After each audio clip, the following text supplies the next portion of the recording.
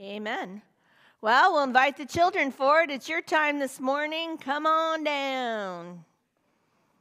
it was a short trip, huh, Mary? Glad to see you. Morning, guys. How are you?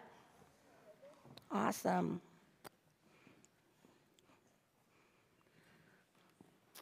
Well, what do you think I have in my pan? Water? Nope, not today. Yeah, that's what they guessed first service. They were hungry. Yeah, that'd be a nice size. That would feed several of us, but it's not lasagna. We're going to use it several times, so we'll come back to it. Okay, today we're going to talk about the story of Adam and Eve from the Bible. And I'm actually going to read the story. This is a Bible, and it's called the Beginner's Bible, and it's perfect for those of us that are younger. So we're going to read, and then we'll come there, and then we'll come back. Our story is called The Sneaky Snake. And it comes from the book of Genesis, which is in the Old Testament. The sneaky snake. Many trees grew in the Garden of Eden. God told Adam and Eve, You may eat the fruit of any tree except for one. Never eat the fruit from the tree of knowledge of good and evil. Now there was a sneaky snake in the garden. One day the snake saw Eve near the special tree. It hissed, Did God really tell you not to eat from the fruit of this tree? The snake wanted Eve to disobey God. It said, You should try some of this fruit. If you eat it, you will be like God. You will be able to tell the difference between good and evil. The fruit looked really tasty. Eve remembered what God had said, but she ate the fruit anyway. Then Eve gave some to Adam, and he took a bite too. As the sun was going down, Adam and Eve heard God. Walking through the garden, he was looking for them. Adam and Eve hid among the trees. They were afraid. What have you done? God asked. Did you eat the fruit from the forbidden tree? Adam said, Yes, but Eve gave it to me. Eve said, Yes, but the snake gave it to me. Hmm. So we'll continue in just a second here. So let's see what's in here. Are you ready?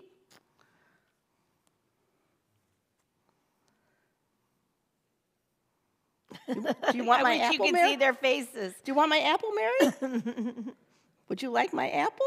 What's what's wrong? Why, why don't you guys want this apple and banana? Why not? It's rotten. It's, rotten. It's gross. It's nasty. It's yucky.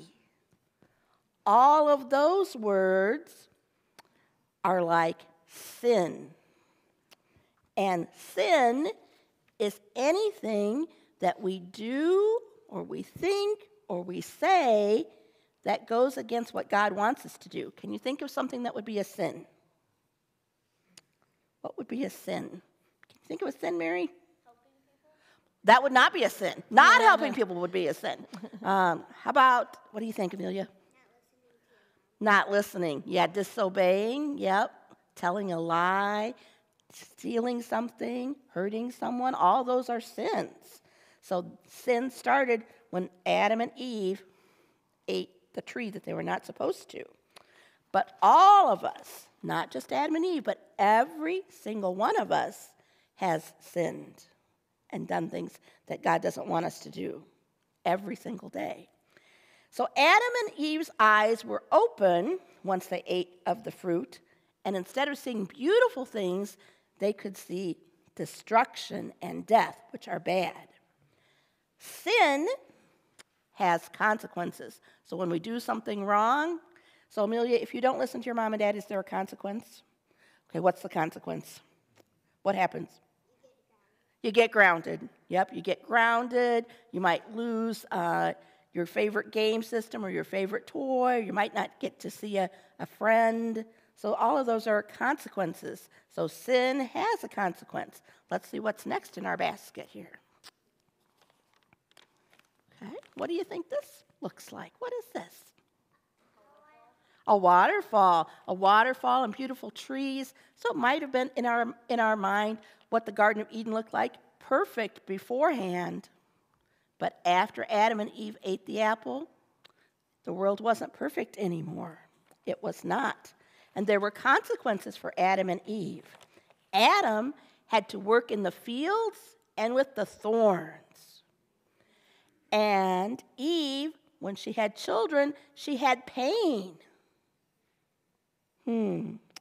So let's read some more and see what happened, what the consequences were for Adam and Eve. God told the snake, Because of what you did, you will always crawl on your belly. Then he told Adam and Eve, Because you disobeyed me, you can no longer live in the garden. Adam and Eve left the garden. God placed angels and a flaming sword to guard the entrance. Adam and Eve would not be allowed in the garden again. It's kind of the opposite of grounded. They got kicked out because they didn't listen. But you know what? What, Mary?